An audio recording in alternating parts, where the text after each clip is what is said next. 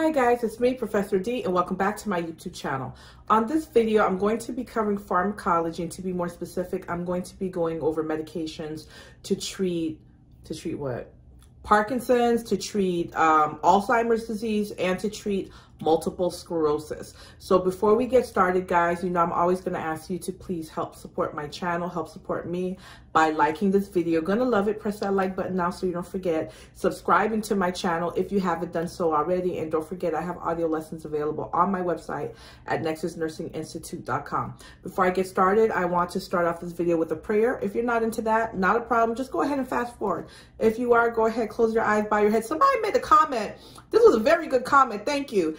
Um, I didn't realize how many students listen to my videos while they're driving. They're driving to school or to the gym or wherever.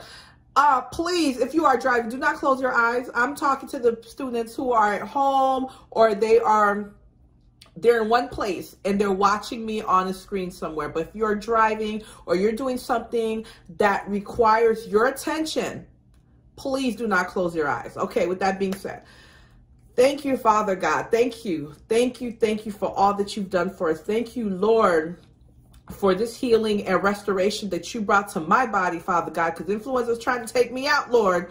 But you healed me, and I tell you, thank you. Thank you for this opportunity that you've given me once again to be able to record, to be able to explain information in a way that seems to resonate with these students, Lord. And I know it's not me. I know it's you. And Lord, I will forever give you that glory, Father God. Thank you for this gift that you placed in me. And Lord, I ask that you please help me to use it wisely, to use it kindly, and help me to remember to always want to help others, Father God. And Lord, I pray for every single viewer right now, Lord, whatever it is that they're struggling with, whether it's, you know, they feel like they don't have enough time to study or they have too many, too much pressure. They have family issues at home. Maybe they have issues at work, whatever it is that they feel is a stumbling block for them to study or for them to even understand this information, or maybe they understand the information, but they're having a hard time retaining this, this, information, whatever it is, Lord, I ask that you move those obstacles from their way, Lord, because they came to this page for a specific reason and for a specific purpose. And I ask that you please bless them. You bless them abundantly, Father God, and allow them to be a blessing to others. Lord, please help me to deliver this information in a way that's palatable, in a way that they can understand, and in a way that they can process, and in a way that when they see the same information again, it may not be the same question, but the same concept, they can understand it and answer the question appropriately. Thank you for this opportunity. Thank you for every single viewer, Lord, and the people who are supporting my viewers, Lord. I ask that you pour a special blessing over them as well. Thank you for your grace and mercy. In Jesus Christ, we pray. Amen. All right, guys, so let's get started. First question. What is the goal of pharmacologic therapy in the treatment of Parkinson's disease? A, to increase the amount of acetylcholine at the presynaptic neuron. B, to reduce the amount of dopamine available at the substantia nigra. C, to balance cholinergic and dopaminergic activity in the brain. Or D, to block dopamine receptors in presynaptic and postsynaptic neurons.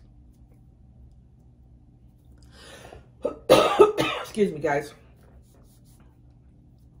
And guys, the correct answer is C, to balance cholinergic and dopaminergic activity in the brain. So guys, when it comes to Parkinson's, I want you to think of dopamine. The problem is the patient doesn't have enough dopamine. That dopamine is what? Down. So what happens is that dopamine's down and the cholinergic activity is increased. So C is the correct answer because we're trying to get what? A balance. We're trying to increase that dopamine, dopamine,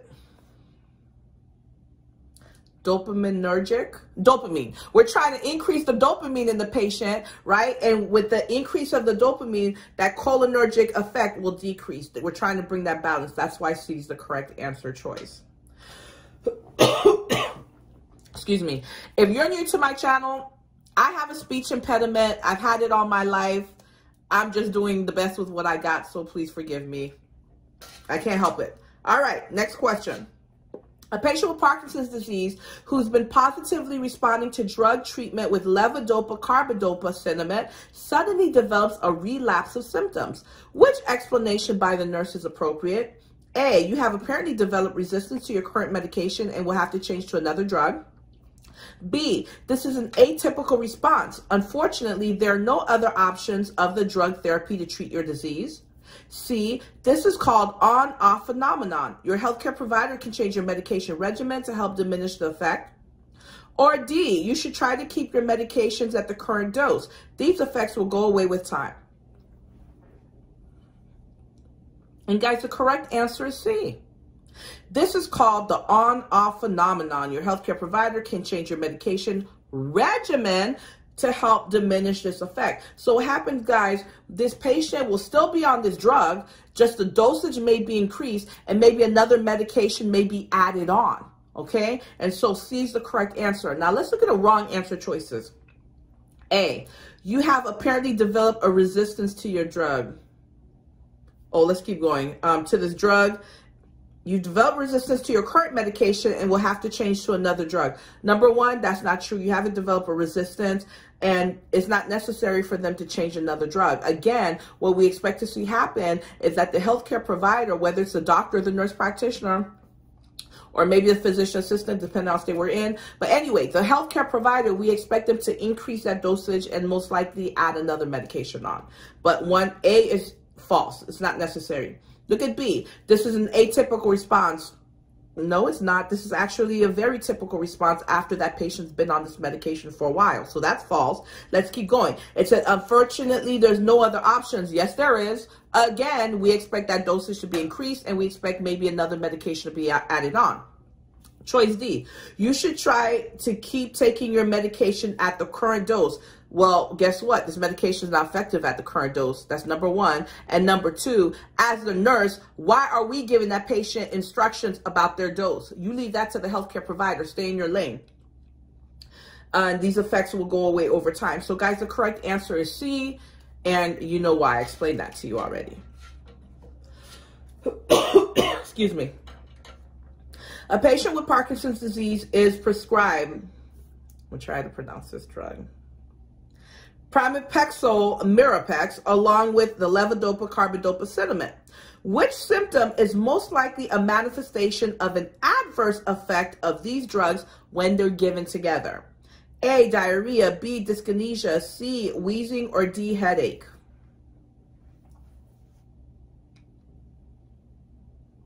And guys, the correct answer is B, dyskinesia. These are the abnormal movements like the head bobbing or the body swing that you'll see this patient have, or you may see tremors or fidgeting. Okay, those are type types of dyskinesias. And we see the patient start to develop dyskinesias after they've been on this medication for a while. Now, something else I want to bring to your attention, besides uh, dyskinesia, something else that we expect to see when these medications are given, taken together is um, orthostatic hypotension or postural hypotension where they change positions and we see a decrease in that blood pressure. So guys, safety, safety, safety.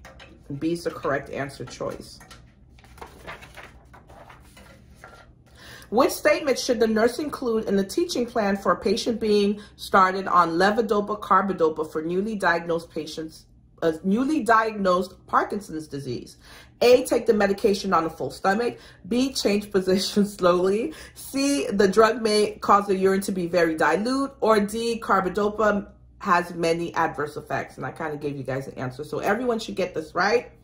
The correct answer is B, change position slowly. Again, that orthostatic hypotension. You're going to teach the patient to dangle. You're going to teach them to get up slowly. You're going to teach them all of those safety precautions. Now let's look at the wrong answer choice. A, I'm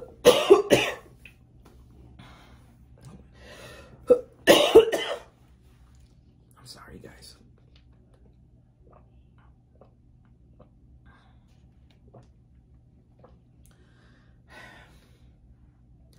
You guys know I'm Haitian.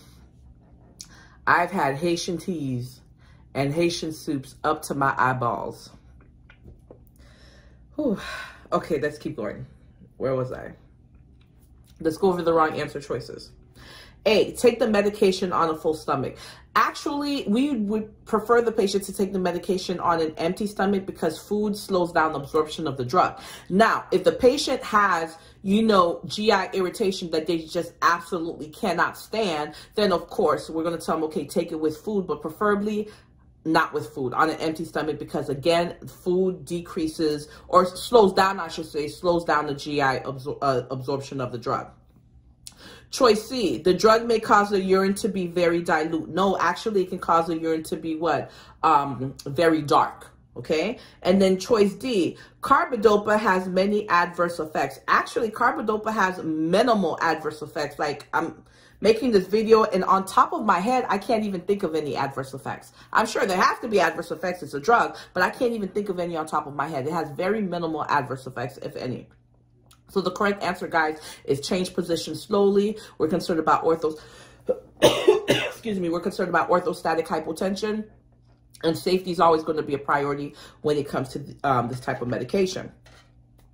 A patient with Parkinson's disease by the way, hold on, let me stop for a second. I just started this video, you know, it's a pharmacology video, but let me make sure you guys understand, you know, Parkinson's disease. Again, like I said, patient doesn't have um, enough um, dopamine, right? But the the symptoms that we see manifested in that patient with Parkinson's disease, I want you to think of TRAP, T-R-A-P. They have the fine tremors, right? Even at rest, you see their hands like that. You see that, um, what do we call it? I'm having a brain fart. But you see, they they do their fingers like this. Something pill rolling. You'll see them doing pill rolling, right? So um, the is for tremors. The R is rigidity. You'll see they have muscle rigidity. You know, when they're walking, it's, you know, it's not, it's, it's, it doesn't just flow. They're walking like robots, right? They're very rigid. The R is for rigidity, T-R-A. A is for T-R-A, akinesia. So something else that you'll see with this patient, it's hard to get them to move. And when they do move, again, they're very rigid.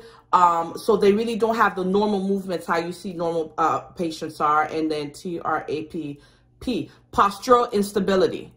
That's why these patients are such a fall risk and we have to always worry about pay, um, safety because I can't do it here because I'm doing a video. You know how when you walk and your arms swing naturally when you walk. The reason that your arms swing naturally when you're walking is that's helping you stay balanced, right? You're staying with the center of gravity, you're balanced. Well, these patients, when they walk, first of all, their arms don't swing. So, you know, they're already not being balanced by their arms not swinging. Then they have a shuffling gait where they shuffle like this, right? And then their head tends to be down.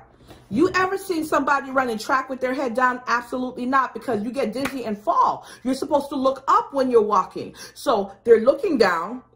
They have the, like they're more hunchback and their arms start swinging and they have that shuffling gait. So these patients are big high um, risk for fall. So I just want to give you guys a clinical picture of what you expect that patient to look like with um, Parkinson's. Okay, let's keep going with our questions. A patient with a history of Parkinson's disease treated with Seleg selegiline Eldepryl has returned from the operating room after an open reduction of the femur. Which physician order should the nurse question? A. Decaffeinated tea, gelatin cubes, and ginger ale when alert. B, Docusate 100 milligrams PO. C, Meperidine 50 milligrams IM every four hours is needed for pain. Or D, acetaminophen 650 milligrams every six hours is needed for temperature. And the correct answer, guys, is the Meperidine. So first of all, whenever you get a question asking you, which one would you question? Or which one would you seek clarification. What they're really asking you is which one is incorrect. And it's meperidine. Go back to the question. This medication, selegiline, the Eldepryl, that's an MAOI. I just did a video teaching you guys about the MAOIs, right? Okay. So anyway, this medication is uh, MAOI and it has um, a drug-drug interaction with meperidine. It can cause hyperthermia. It can cause um, um, irritation. We don't want to give, I'm saying irritation, agitation. We don't want to give these two drugs together. So when the physician orders this drug, meperidine, for this patient that's already taking this MAOI, you're not going to be a robot. You're not just going to give this medication because the physician or the healthcare provider ordered it. No, you're going to think critically. You're going to say to yourself, wait a minute, wait a minute. I know that this can cause big trouble for my patient if it's given together. I'm going to call the healthcare provider and say, hey, I know you ordered this meperidine for pain, but were you aware that this patient's on the um, Eldopro? Okay, you're going to withhold it and call the healthcare provider. You're showing the test writer that you understand that there is a very serious drug-drug interaction with these two medications. Is the correct answer choice.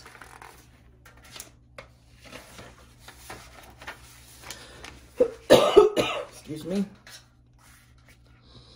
A family member asked the nurse about amantadine. Which statement by the nurse is most helpful in explaining the use of amantadine? A, it was developed by an antiviral aid. It was developed as an antiviral agent, but is now used to, for treatment of Parkinson's disease. B, it works slowly over time, but can lose its effectiveness in three to six months. C, it works rapidly and does not lose its effectiveness.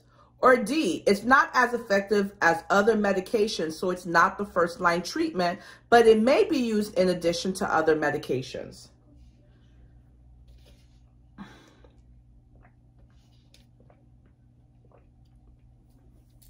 And guys, the correct answer is D. It's not as effective as some other medications. That's why it's not a first line treatment, but it can be used in addition to other medications. Here's the thing, guys. This medication is not as effective as levodopa. At the end of the day, levodopa is our go-to when it comes to Parkinson's disease. Levodopa, dopamine. Remember, that's what the patient doesn't have enough of to begin with? Okay. So levodopa is our go-to. Here's the problem with this medication, amantadine. Even though it works very quickly, when I say very quickly, I'm talking about within the first week, right? Wonderful, because when it comes to these CNS medications, they don't work quickly. It takes weeks before we start, you know, um, it really gets in that patient's bloodstream and starts to be effective, right? But this medication, within a week, it starts to be effective. Here's the problem. It wears off very quickly. It wears off very quickly and it's not as potent. It's not as effective as a drug such as levodopa, all right?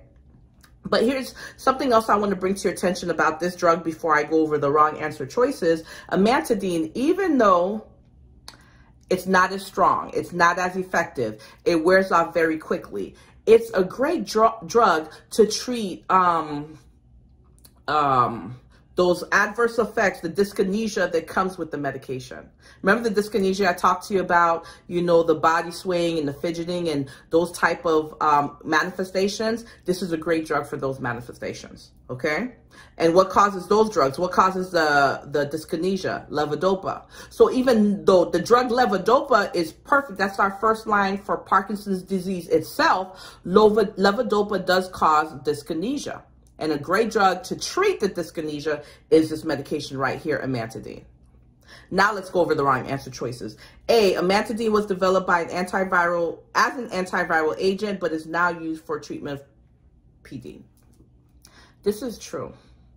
And this is what NCLEX will do to you often. They will give you an answer as true, but the answer that they give you is not the most appropriate answer.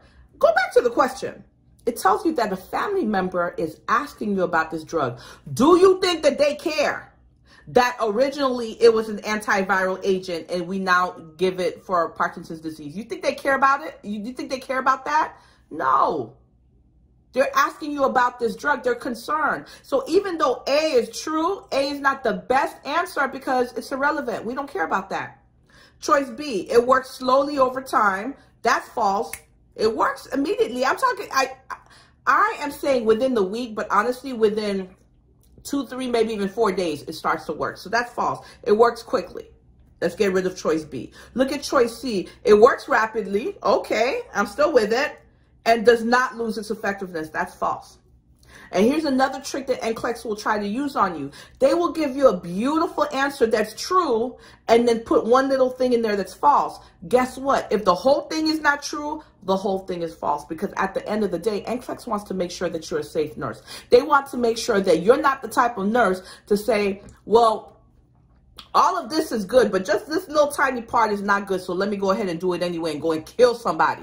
They want to know that you are a prudent nurse. They want to know that you are the, you know, the type of coworker that you have that nobody wants to work with because they're concerned about everything. Everything is a big deal. They're up in your business, the next coworker's business, everybody's business as if they think they're the boss. Let me tell you, NCLEX wants you to be that type of nurse. And what I mean by that is NCLEX wants you to be overly safe. That means there's one tiny little thing is wrong. Whether it's yours or not, you're going to recognize it and address it. You're not going to do it. Okay? Does that make sense? So that's why D is the correct answer choice.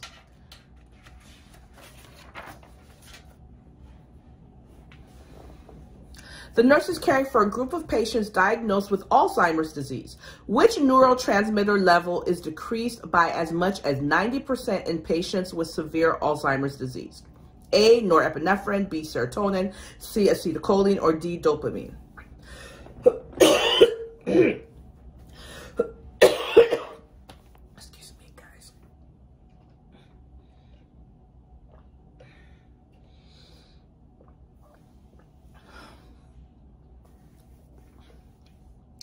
And the correct answer is acetylcholine, okay? Excuse me. So what we see in patients that have um, Alzheimer's disease is a drastic reduction in acetylcholine. And when I say drastic, I'm talking about like 90%.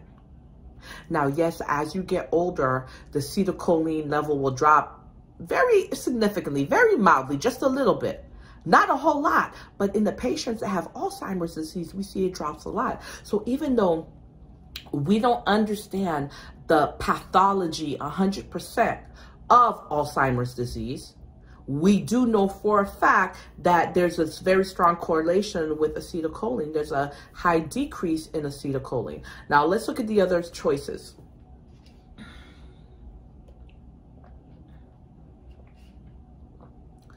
A, norepinephrine. Um, with a decrease in norepinephrine, that patient would, you know, we see something like adrenal insufficiency, right? Serotonin, decrease in serotonin, we see something like depression. Um, dopamine, decreased dopamine, we see something like what? Parkinson's disease. Very good. So for this question, the correct answer is C, acetylcholine. Which cholinesterase inhibitor has the highest incidence of adverse GI effects? A, Aricept, B, Exelon B, Reminyl, or D, NMDA? Now, before I tell you what the answer is, let me make this clear. All of these options have GI um, uh, symptoms, GI adverse effects, right?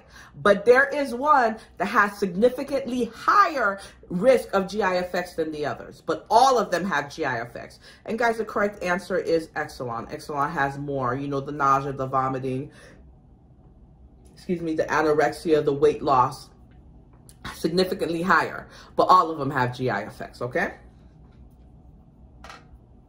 Um, before I move on to the next question, also, choice D, NMDA, that's not even a cholinesterase inhibitor. They just threw that in. All right, let's move on to the next question. Which statement about Namenda is false? A, it's indicated for moderate or severe Alzheimer's. B, it modulates the effects of glutamate. C, it does not slow the decline in function. Or D, the most common side effects are dizziness, headache, confusion, and constipation. We're looking for a false answer. Okay, the answer that's incorrect is C. It does not slow the decline in function. Absolutely, it does slow the decline in function. And in some patients, um, Namenda not only slows the decline in function, um, we've also seen improvements in those signs and symptoms that the patient had. So um, C is the incorrect answer choice. Choices A, B, and D are all correct. That's why we didn't choose it as an answer.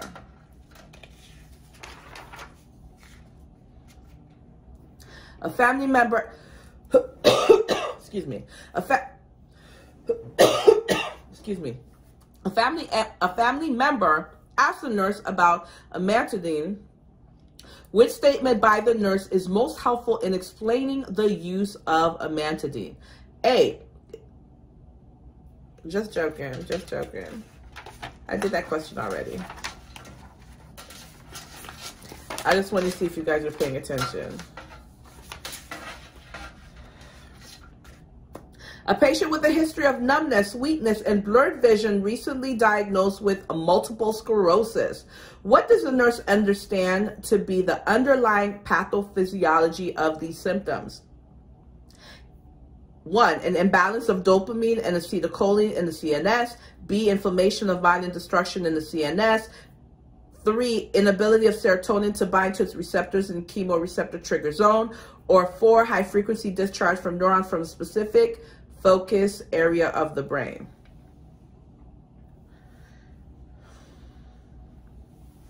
And guys, the correct answer is two. Inflammation and myelin destruction in the CNS.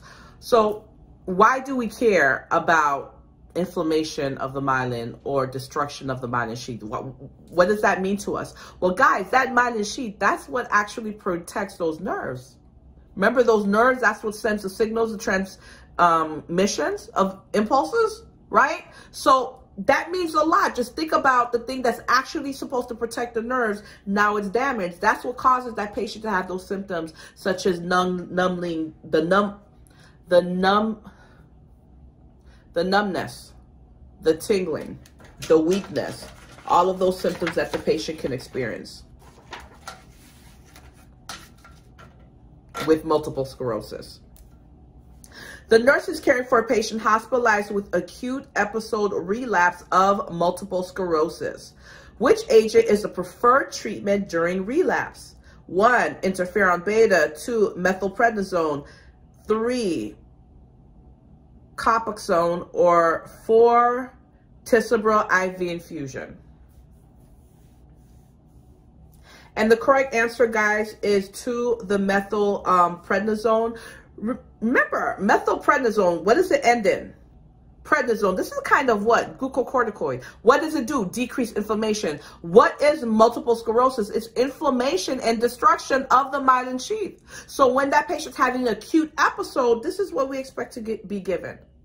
It decreases the inflammation, guys. Now you see the other choices, choices one, three, and four. This is still given to that patient that has multiple sclerosis, but it's given for long-term management.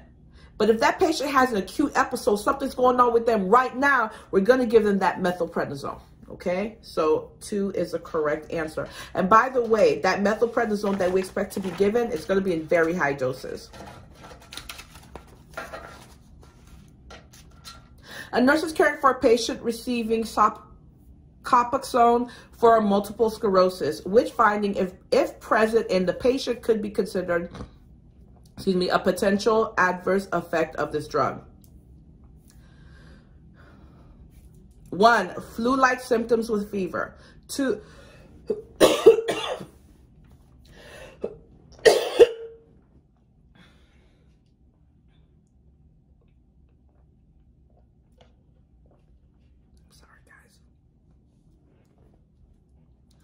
One, flu-like symptoms with fever. Two, decreased neutrophil count. Three, jaundice and elevated bilirubin. Four, injection site pain and redness.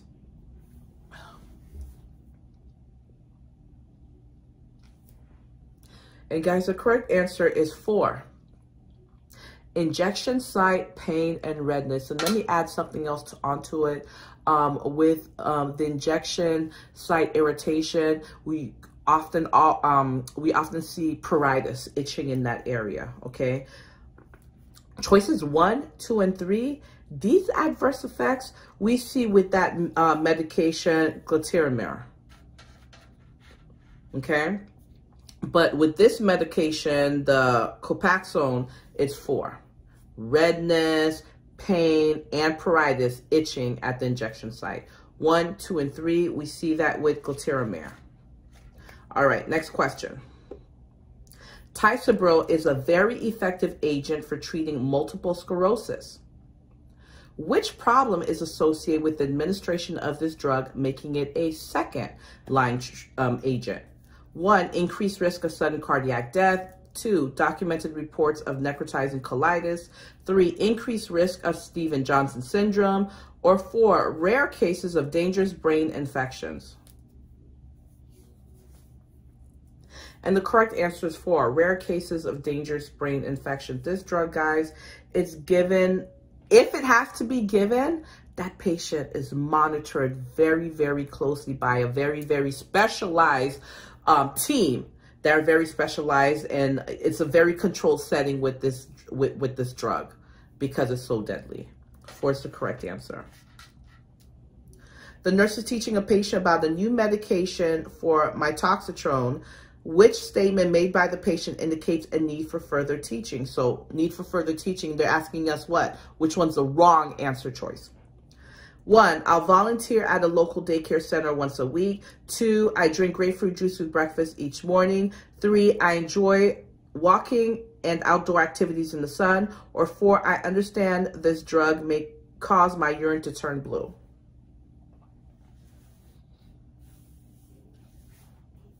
Now, this is a weird question because I'm going to tell you what the answer is, but I'm going to tell you what I have a problem with. The correct answer is one, I volunteer at a local daycare center once a week. And the reason that, wait, by the way, this medication that we're talking about, this is an anti uh, neoplastic, it's an anti-cancer drug, right? So which statement needs further teaching? One, I volunteer at a local daycare center once a week. If you're taking this medication, you can't be volunteering at a local daycare center. You can't be around crowds. You can't be around sick people. And you know kids are nasty. They're sick all the time, right? So that one definitely needs further teaching. But here's what I have a problem with. Choice two also needs further teaching. I drink grapefruit juice with breakfast each morning. Um, grapefruit juice interferes with that drug. They shouldn't be drinking grapefruit juice either. So I think this was a poorly written question, but whatever.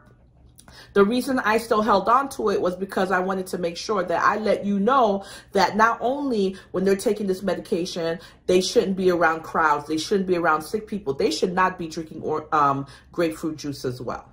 Okay?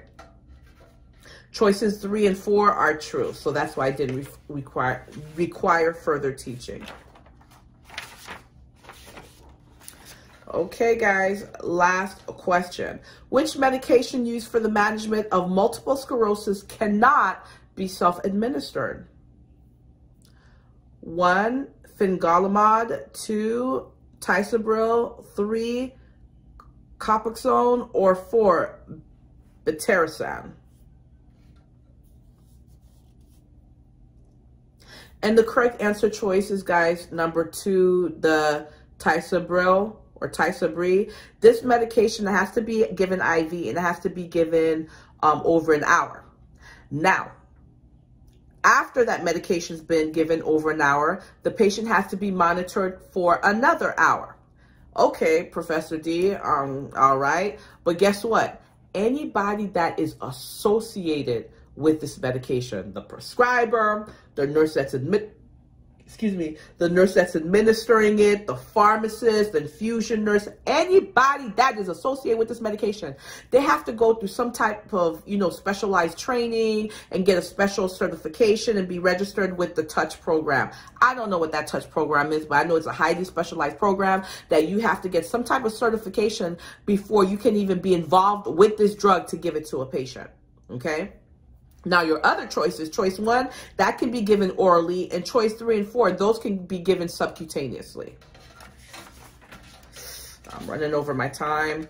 Let me do one more question with you guys, and then That'll be it. Which medications can be used to manage fatigue associated with multiple sclerosis? Select all that apply. All right, guys. How do you treat select all that apply? As true or false. Remember, don't try to club them together for it to make sense. By itself. If it's true, we're going to keep it. If it's false, you're going to throw it out. So again, they're asking us which medications can be used to manage fatigue associated with multiple sclerosis. One, modafinil. True. The question is asking us about which drug can help with fatigue. Well, this medication, it's a stim, uh, CNS stimulant. So, of course, that's going to help with the fatigue. True. How about uh, two, clonazepam? False. Clonazepam is a benzodiazepine. It can help to decrease those um, tremors or ataxia. You know, ataxia where the person looks like they're walking drunk, right? That's a great, that benzodiazepine is a great medication to decrease those tremors or ataxia, but not the fatigue. How about three, amantadine? Absolutely. True. You know this drug, it's an anti-dyskinetic medication. So it decreases those dyskinesia symptoms. Absolutely. And by the way, um, fatigue is one of those symptoms we see um, with this patient. Absolutely true. How about um, carbamazepine? False.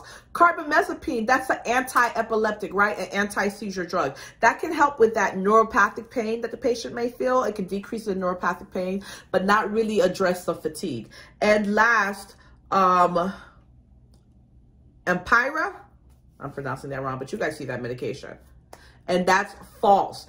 Empira, that's a calcium channel blocker that helps improves uh, improve, helps to improve the patient's walking but it does not address the fatigue. So for this question, the correct answer is choices one and three.